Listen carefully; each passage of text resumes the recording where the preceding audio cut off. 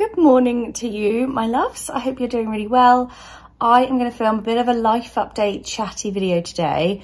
It's not going to be too varied. Like I'll probably go to Aldi now because I need to get some milk and bread and vegetables. And then I will probably go and um, have a look at what's in the middle aisle, just show you that. And then come back, unpack that, chat. Uh, yeah, so grab a cuppa. It's going to be one of those. My skin is really flaring up at the moment. I don't feel great, uh, so excuse that. Um, but yeah, let's have a little chat, chat and catch up and grab a cuppa, basically, and probably get comfy.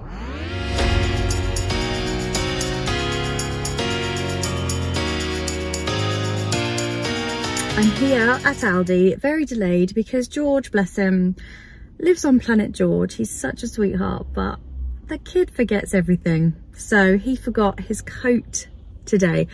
Don't let the blue skies fool you. It was absolutely pouring with rain when I dropped him off this morning. So I had to go and sort his coat out. Um, so anyway, I'm at Aldi now. I haven't actually had breakfast yet. And I'm going to show you what's new in Aldi, the middle aisle. I really, really would love to find some bedside tables. I don't know if they've got furniture at the moment, but I'm going to have a look. And yeah, then I will be going home to eat some breakfast and put away the shopping. But anyway, let's go and have a look at what's new.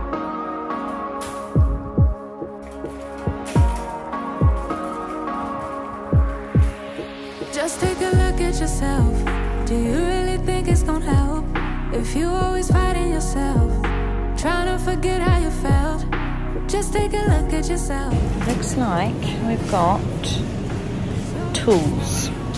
Got tools in at the moment. It's all a little bit sort of odds and ends really, I would say.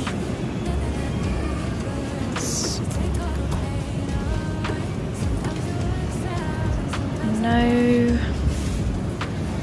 major excitement this end. Let's keep going though, might be better around the other side. I feel like this might be the least exciting middle aisle I've ever seen in my whole life. it just feels like it's the last bits left over before they do a big change. Oh no, the pet bits. Okay, what about here? We've got some garden things.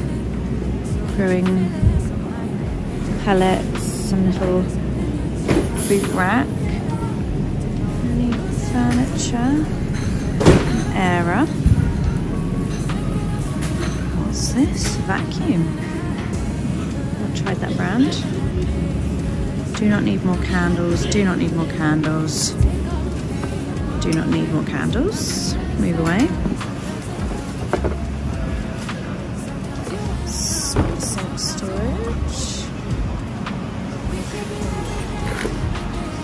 Nice. yeah, just don't really feel like there's much to write home about. Really, it's a shame.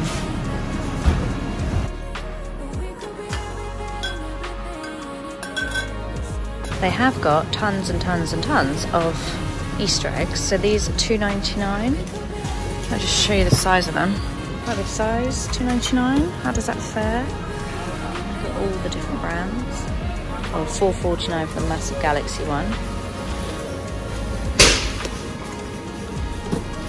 So yeah, and then they've got their own stuff as well. Those look quite fun. And all of these ones here too. So yeah, loads. All their nice ones as well. Oh, that looks quite cool.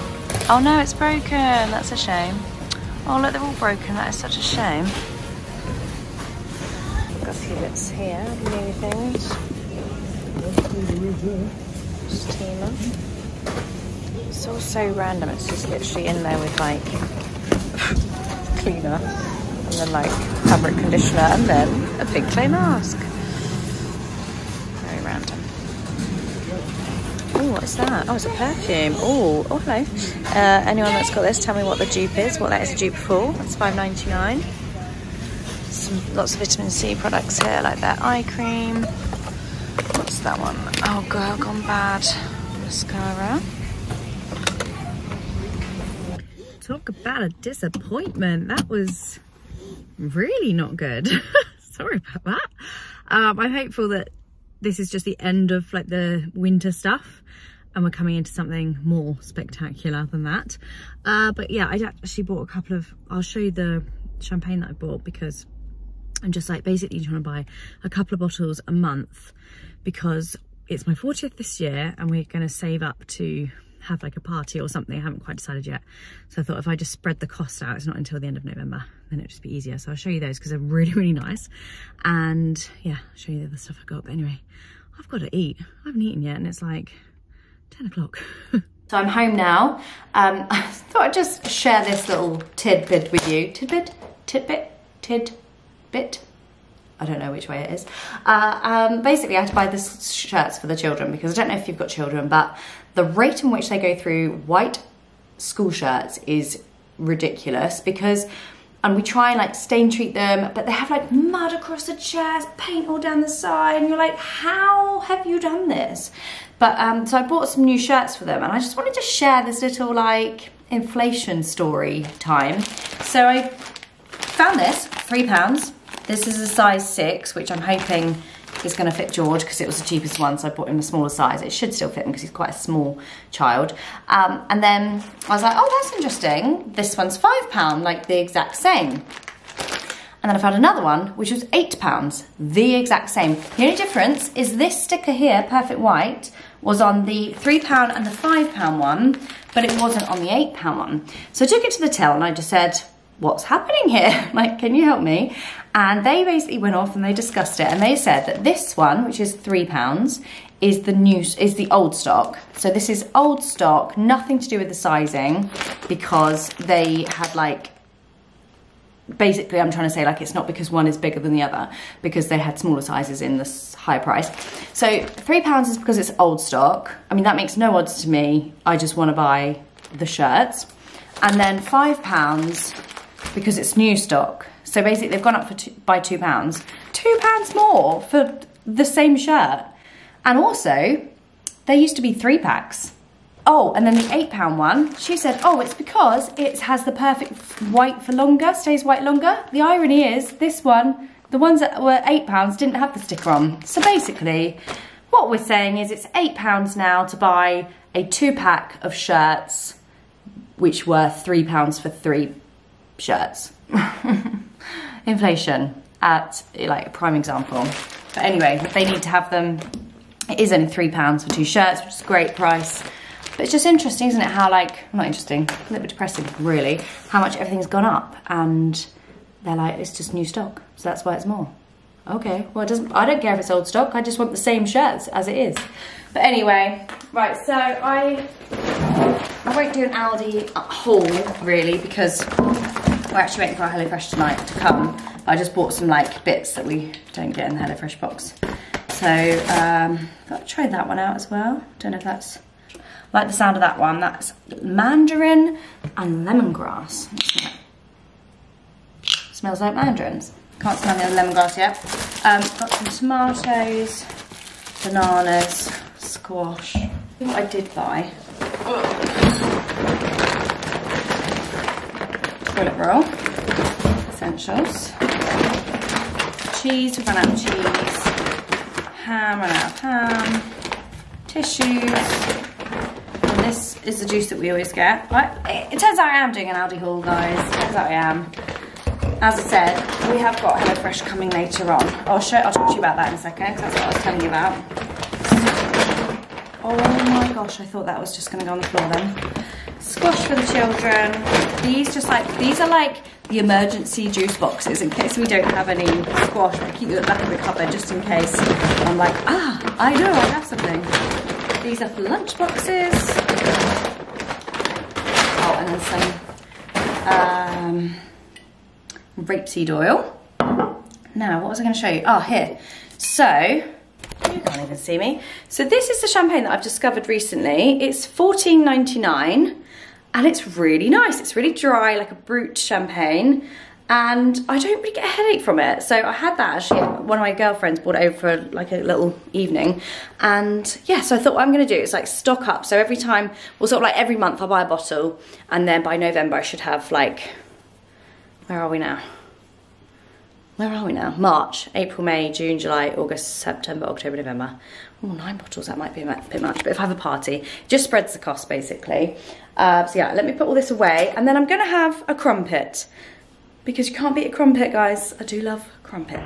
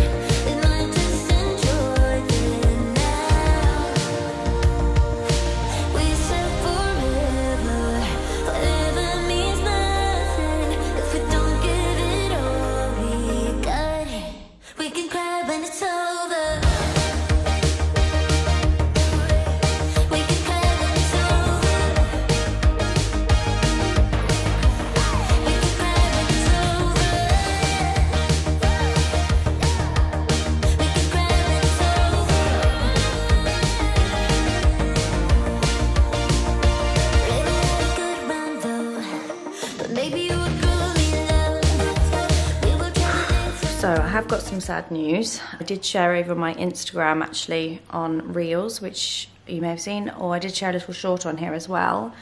Uh, but I thought I'd just talk you through it. I just wanted to let you guys know uh, because she was such a massive part of my channel and obviously of our family. Uh, that sadly, late on Thursday night, we lost our baby, fur baby Maggie. She was sleeping on the sofa in her favourite spot, and Stu had noticed that he'd been cooking dinner and he like noticed that she'd just been laying there for a while. And like she's a cat. She's an old cat. She sleeps a lot right? She's she's not um, a spring chicken jumping around the place. So that wasn't unusual. But he sort of thought i haven't seen her move for a little while. And for him to notice that he's not the king of observancy bless him so he went over and then literally he came and I was up with George just tucking him in uh, because he was still awake even though it was quite late but I'd been I'll tell you actually where I've been uh, with work. But anyway so he came running and his face was literally like white and he said what he thought had happened because he was like so shocked. And I was like, no, don't be silly. So I came over and I was like rattling her food, calling her, and she honestly just looked like she was asleep. Um, so it must have been like an aneurysm or a heart attack or something because she sadly didn't wake up from that sleep.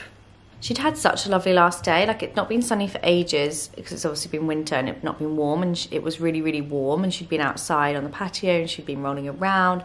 She'd come in. She'd nuzzled at the corner of the table, which she just loved to do. She was eating, going to the toilet. Like everything was normal. There was nothing out of the ordinary this day, which is why we can just only think that it was just like a massive heart attack or something like that. Which it's awful, but it's like there was no pain. Like you she just slipped away so so peacefully so gently.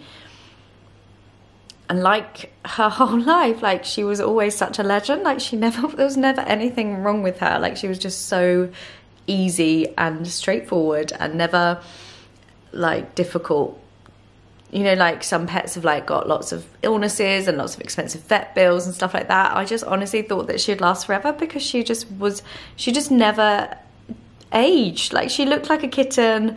She was just so so sweet and she'll be so missed. Obviously the children i've i've had her since she was a baby like well stu and i before the children were born. And that's their like little fur sister. And george will say oh we'll be sat on the sofa and he'll say oh this is when maggie usually comes over and sits on our lap or henry will play with the toy and he'll say oh maggie used to love this toy. And she'd always she wouldn't like the loud noises of when their friends were here or if like they were running around the house so she would hide in the lounge. And as soon as my bum would hit the sofa she'd be on top of me nuzzing at me like on my laptop sitting on the keyboard just making it really hard for me to work. So yeah we've got so many fond memories of her. And she will be so dearly missed but i just wanted to tell you guys because i know she was a massive part of my channel you know, like if I'd be filming and she'd come along and lick bags, she always used to do that, or play with my mic cable and chew through it and stuff. So there was always lots of Maggie here on this channel, so I wanted you to know. Um, but you know, no one likes to lose a pet, but at least we know that she slipped away without pain. And yeah, it's just so sad, isn't it, to lose a pet? And obviously, we've had her, she was 14, so we've had her since she was a baby, like really, really young. Um, but I wanted to do like a little life update about it um, because you guys did always comment about her and love her and stuff, same as us. So I did a little video which I'll share with you now. It's only a few seconds long.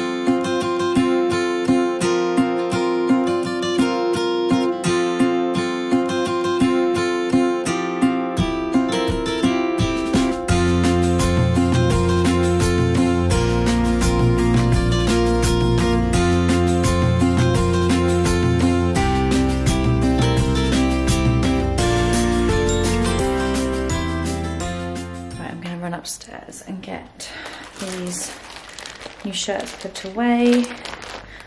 I've done a makeshift uh, fruit bowl because what I bought won't fit in our actual fruit bowl and it needed a clean up. So yeah, it's so weird because I'd like I just went to draw the blinds in the lounge and usually she'd be in there and I just like hear her like I'll hear her little snoring or her bell tinkling um, but it's not her. She's obviously not there, so yeah, that's not very nice.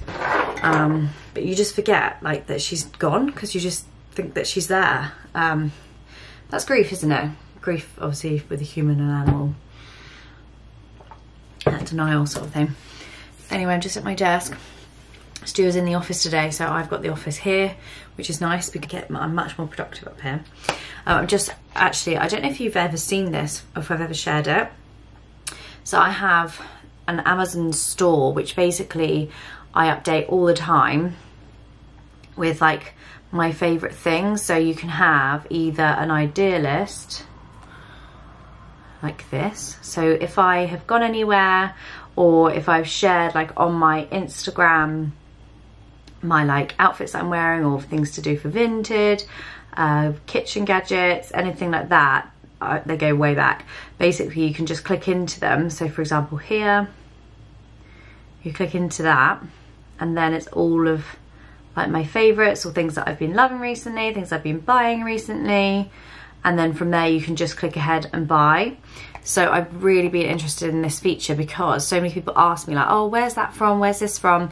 And you also, on that top tab there, you also have photos. So I've clicked into photos and it'll be like my outfits and then you can literally go into them and then, oh, say that, you wanna know where the hat's from. It will show you the picture and then like all the items listed in the picture. So I'm just updating that now. So if you haven't ever seen my Amazon storefront, that's what it's called, like for example, cruising or holidays, uh, I'll put in there like things that make holidays easier, like packing cubes, amazing. Uh, my Avon spray, you know, I love that. All different things in there. So yeah, I'll uh, link my storefront for you below if you've not used it before. It's just easier because people ask me all the time, oh, where's that from? Or where did you get that from? It's all there and it's one click away. So that will be linked for you down in the description bar. But yeah, for now, I've just got to do some work. So I've got a couple of big sort of projects on at the moment which is taking some of my time away from YouTube and I was going to just talk about this in this life update because I have found since Christmas so I don't I haven't really ever taken like any time off of filming uploading editing which takes up hours and hours like days of my of my week is editing YouTube videos. It does take a long long time. And I've over Christmas I took a week off which was just absolute bliss. I loved it so much. Just was my laziest version laziest version of myself ever. And it's really hard for me to do that because I'm basically um, I love what I do and I love helping you guys and creating content and it's a lot of work so I don't really get any downtime from it because obviously it's not just what you see here it's like writing or like press stuff and YouTube Instagram TikTok blog writing for publications. There's a lot more than just like what you may watch on here. But I do love it and uh, I've took that week off and then since then my views have never recovered. It's almost like i've sort of like fallen off of the youtube algorithm which is vile. Like i hate the fact that we're we have to like get favored by their algorithm for you guys to see my videos. So what i'm roundabout way of saying is i don't know if i'm going to pull back a little bit on youtube because it's so much work and people are not seeing them. So whether it's that you're not being notified or you're choosing not to watch them, I just feel like I've got other projects that I need to be working on at the moment. I don't know. I love YouTube. I feel like YouTube is my home. Like I feel like it's my my like your my audience there is so such a community and obviously we have the Facebook group as well. Uh, which is a really nice community. Lots of people, sort of like-minded people, are there. That's really nice. But anyway, I, I do love it, so I probably will continue. But there's a lot of like 1 a.m. finishes because that's the thing that I can do like in bed editing. And um, my skin at the moment is really unhappy with me. I've even got a massive spot in there, which is really painful. So strange. Uh, but yeah, I think like the turn of the season, stressful environment, uh, working, and so I've like done a couple of like big work jobs recently. So when I went to the Caribbean, that was as part of a press group. So rather than it being like my trip, you know, like we do lots of work with the family and going on trips, this was like literally uh, press people from TV, people from newspapers, uh, people from publications, and then myself and another creator. So they wanted to show like a different, like a holistic viewpoint of what it was. But obviously, it wasn't like a trip that I would do with my family. It was a trip for the launch of their new cruise ship, which was stunning. And so many of you have got in touch to say that you are also going on Arvia, which is amazing. Uh, but obviously, sadly, it wasn't like a, a family trip, which we should hopefully be doing later on in the year to somewhere else so keep an eye out for that one if you're interested. But like each person was there. So like the mail on sunday guy was there to get about like the food and this and that and this. So like their perspective is totally different to mine. So when i do trips like this i want to know like what's the value for money? Why would people spend their hard-earned money on this trip? What do you get for your money?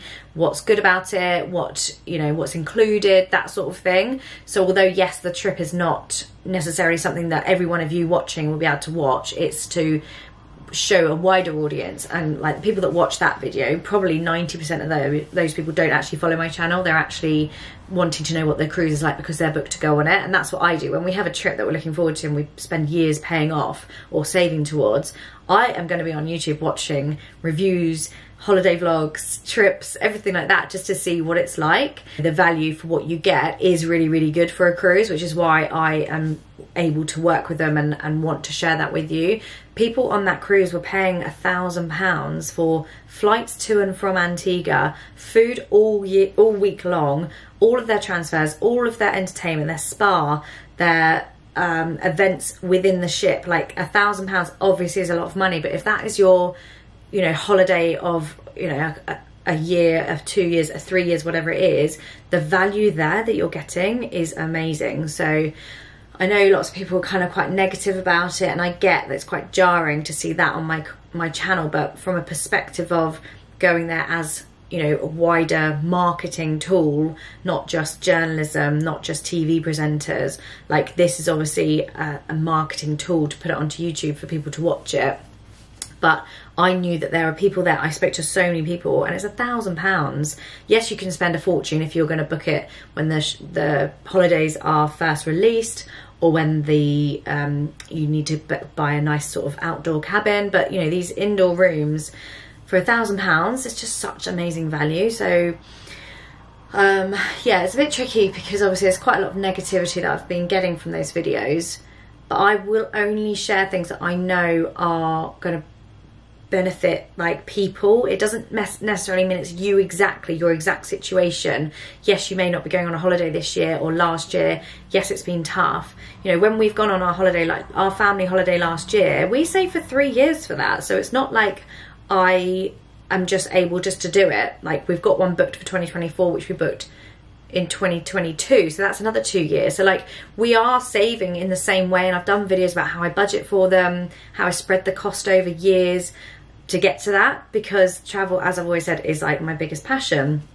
But I don't know, it's just difficult because I know my heart that I'm not a bad person, but I feel like I get some negativity from people that maybe don't understand it or don't get it or haven't actually looked into exactly what it is. Anyway, oh my god, I've been chatting for so long. I said this was such a chatty video. But anyway, I'm going to crack on. I've got to do some, I've got 300 emails that I have to get through. Um, before going to the school to do a little thing with my eldest um, because they have got like a little thing that I've been doing for six weeks with the school. So yeah, I'm trying to do the mum thing, do the work thing. And yeah, sometimes it's just I feel like I'm dropping balls. I feel like I'm just dropping balls everywhere. Uh, so I didn't end the video. So here's me a few days later ending the video. I've just watched it all back and edited it all and sorry for the waffle and the ramble. I think I'm just feeling a little bit sensitive at the moment because it's really hard to like put yourself out on the internet and people like just tell you you're not a very nice person, which is ridiculous because I know I am. And I know my values are that I would never work with a brand that isn't aligned to my beliefs and that it's going to help somebody. It may not be you, but it may well be the person next to you, sort of thing. So, yes. Um, anyway, I'm going to say goodbye now, and I will see you when I see you. Um, and thank you for watching. And if you've got this far, comment below with your favourite ice cream flavour. Speak to you soon, guys. Bye.